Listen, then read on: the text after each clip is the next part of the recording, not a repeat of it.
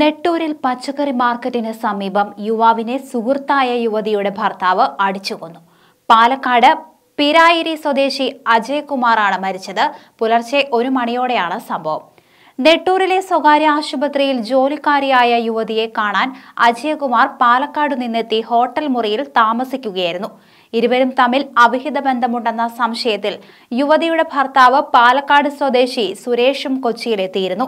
യുവതി ഹോസ്റ്റലിലാണ് താമസിക്കുന്നത്. രാത്രിയിൽ കാണണമെന്നാവശ്യപ്പെട്ട് സുരേഷ് ഭാര്യയെ കൊണ്ട് അജയകുമാറിനെ വിളിപ്പിച്ചു. ഭാര്യയെ കാറിലിരുത്തിയ ശേഷം സുരേഷ് കുമാർ അജയകുമാറിന്റെ ഹോട്ടൽ മുറിയിലേക്ക് പോയി. തുടർന്ന് സംസാരിക്കുന്നതിനിടെ അടിച്ചു കൊലപ്പെടുത്തുകയായിരുന്നു. അടിയേറ്റ യുവാവ് പുറത്തേക്ക് ഓടിയെങ്കിലും മാർക്കറ്റ് റോഡിൽ വീണ് മരിച്ചു. തന്നെ കാണാനാണ് അജയകുമാർ വന്നതെന്ന് യുവതി സമ്മതിച്ചു. സുഹൃത്തുക്കളാണെന്നും തനിക്ക് നൽകാനുള്ള പണം നൽകാൻ എത്തിയതാണെന്നും യുവതി പറയുന്നു. പോലീസ് എത്തി കസ്റ്റഡിയിലെടുത്ത സുരേഷിന്റെ അറസ്റ്റ് രേഖപ്പെടുത്തി.